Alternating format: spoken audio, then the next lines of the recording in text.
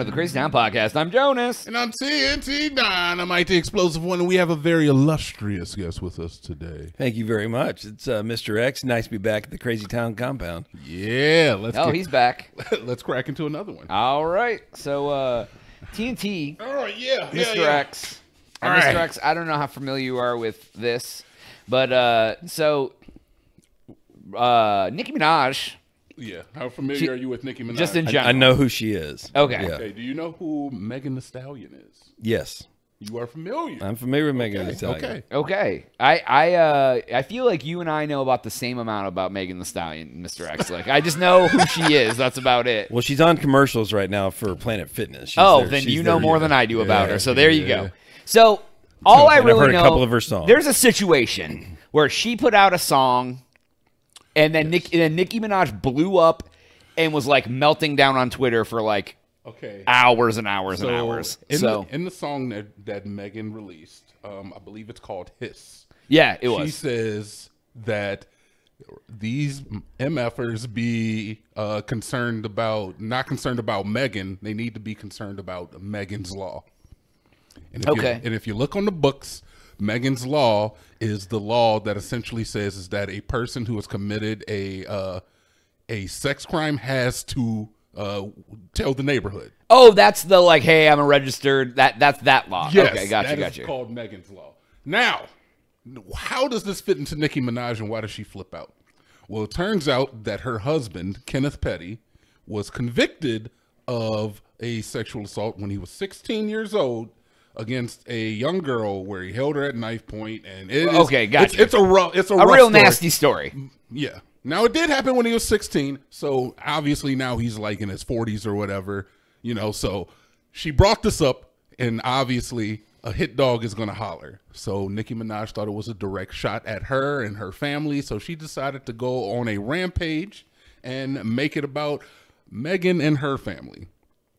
And she decided to uh, bring up um, Megan's recently deceased mother Oh, and talk about that in a diss track. Now, she brought up a lot of other stuff, and I honestly don't feel like bringing up the memory of the deceased is that far from any diss song that you've heard in the past. And when you think about Biggie and Tupac, there was some pretty flagrant things that have been said, and Ja Rule and uh and, and 50 Cent. There's been some pretty just just when you're dissing each other, it gets rough. It gets a little flagrant. yeah, you can really uh can really put it put the knife deep. Well, in it's the like wound. they say, all, all's fair in love and war, right? Exactly. So, yeah, okay. Exactly. It's going to be collateral damage. people are essentially taking Megan's side in this whole in this whole thing. But I think is that Nicki Minaj is a rapper, and you said something kinda about a rapper. Now she didn't have to comment; she could have just let that slide. You could have been like, "All right, she's making a joke about Megan's Law. That's fine." Didn't say her name. It was one line in a song.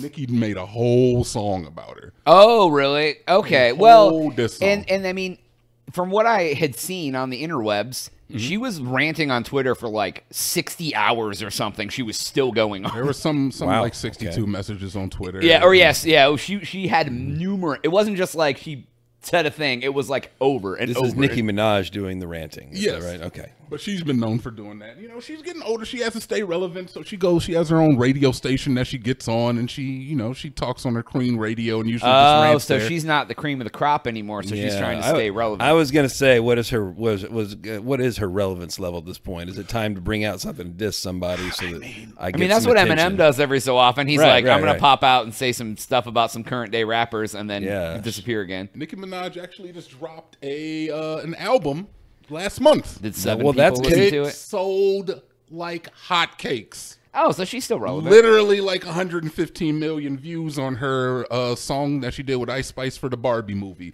She is not lacking relevance. Okay, so she's not needing attention. But you know you can't talk you, certain things you just can't say to women. She's not Lady of Rage level irrelevant. No, no. But you know, if you say something to a woman, they want their they want their revenge. Yeah. And I just, I, I mean, I can't. All right, my whole thing is that it eventually divulged into something greater, where there were actually Nicki Minaj fans that ended up going to the deceased mother's gravesite, What? holding up signs, and uh, I don't. You know, it's just it got. Wait, a wait. little- So the fans went and started doing fans some, went? and started putting like signs on her mom's grave. Yeah, yeah. That escalated very quickly. That did. That that's a big escalation. That's a from- big. Like I think like talking about someone's dead mom and then going to their grave and posting signs on it, that's a whole next level of It- it is. disrespect. It like what the Now I That- would say I would say you can't control your fan base, right? I mean Can't control your fan base, and and I and I I'm not going to put that on Nicki. That's not her problem. You have to put it on Nicki. All right, ah, she could have been like she mobilized them. Well, she Nick, Nicki Knights, stand down. Well she didn't Stand back. Did did Nicki say, "Hey, y'all go to this grave and do like"? No, I mean she didn't say that, but she did say, "You know how my fans are, and I'm telling my fans right now, do what you got to do." Hey, She has been known in the past to mobilize her fan base to enact revenge on other people. that is insane. It is insane. Isn't that RICO? No, I mean, nothing illegal happened. if the fans murdered someone, she would have been culpable. She would have been Young Thug. Maybe, maybe, but that didn't happen. They just went to her dead mother's grave site and you know Oh, held up you some signs. Oh. So So the police came. So there's there's an interesting parallel here to What's this that? and and and what you know other things that have happened more recently in the news Mm-hmm, is you know can you by tweeting mobilize people to do bad things? Yes. January sixth may bring ring a bell. something where Stand some- down, Proud Boys. Yeah, so, You know? like, down, should yeah. she like is, is is the tweeter really culpable in other people's? Like, are these people not responsible for their own actions? Yeah. I mean, what if it was like a M, uh, MS-13 gang captain had had Twitter and he was like, "Go kill the police" on Twitter? Like, it. I mean, essentially, if you have followers and they listen to you, you are Manson told all the people to go do things for. He didn't kill a single person. that's fair. You know, so I mean, like, you are responsible if you have power. If if you have influence and your influencers go do things because you said something, it kind of falls on you because you could easily have just said, "I know y'all want to go do something. Hold off." Yeah. You know, Yeah. I you know it's And and I can't I can't say that she did not do that. She 100 percent did. If you even in the song, the diss track, she is clearly mobilizing her oh her you got fan the, base in you order got the to proof. extract revenge. What's that? You got the proof. I mean, I got some of the lyrics. If you Yeah, want to look yeah, at yeah, it, if you yeah. Let's really yeah, yeah. Let's let's see some of this because because can look at some of the lyrics. yeah. I mean, we got the basic story down. I want to see some of these. I know what I'm doing with my own computer. I do. Bigfoot. Oh, it literally just says in response to. Oh yeah, yeah, yeah, yeah. So she, you know, she goes. She she is a she is a talented artist. I will say that much. Um, I'm just putting the lyrics on screen right now. I don't know if I can play them. How you f your mother, man, when she die? Yeah.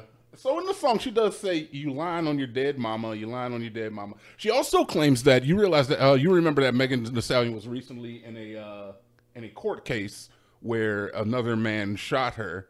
Um, he was also famous. Another man allegedly shot her. Oh, oh my God! I just saw some. Wow, it's a it's a direct diss track. Oh yeah, it's a hundred percent about her. And she uh she says is that she even knows information on that to prove is that she's been lying about what actually happened in the incident that led up to the, the young man being uh uh, in prison. There's been a lot of uh, talk about a, a videotape that actually uh, absolves the young man who went to jail and indicts one of Megan Thee Stallion's friends. Now, I'm not going to say is that Nicki Minaj is a super sleuth, but to sit here and act like she's not a millionaire is insane. And millionaires can get their hands on anything they want. Well, I mean, she also has some pull in the rap game. and You know, some people in the rap game know some things about some things that they didn't talk about. Exactly. So I mean that that's pretty much the end of the story, man. You gotta watch out for Nicki Minaj if you're out here talking shit. And I still say is that Nicki won the rap battle. Is if this is a rap battle, Nicki won because she rapped. Megan Thee Stallion said one line and then hit her hand. So has Megan Thee Stallion like Nothing. responded back, or she Nothing. she's being the bigger person here and be like, There's no bigger person here. I don't know, man. You are if you are a rapper, then there's certain rules you got to live by. If somebody talks shit about you, you got to talk shit back. You can't sit up there and talk shit, and then when they say something that hurts your feelings, Megan- oh, I'm done now. Megan probably doesn't want to lose that Planet Fitness money, and if she goes and does yeah, something crazy, exactly. You can say follow Megan's law, and that's like, oh, like yeah, that's like if you if you a sex offender, you better tell everybody.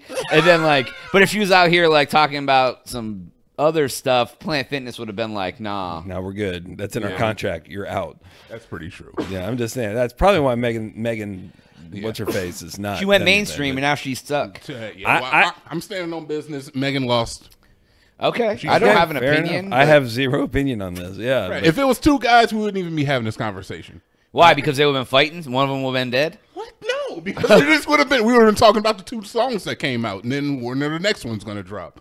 Oh, except for Drake, because somebody else would have wrote He his. He did write a song. He wrote a comeback. Did he? Who wrote it for him? Did he lost. sing it? Wow. Anyways, that's all the time we have for today's episode. Please make sure to like and subscribe. For Jonas, TNT. and Mr. X. uh, we out.